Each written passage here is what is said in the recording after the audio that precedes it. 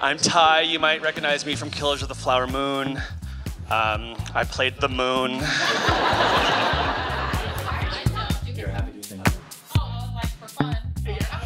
Dark winds, that's what I call it when I give in to my ice cream cravings and really test the extent of my lactose intolerance.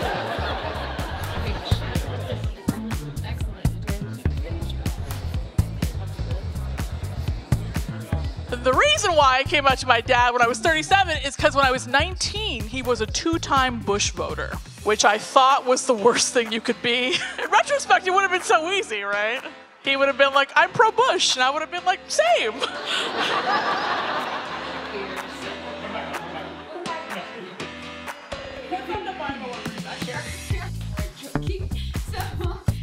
Does anyone in here want to have kids but they haven't yet? Make some noise.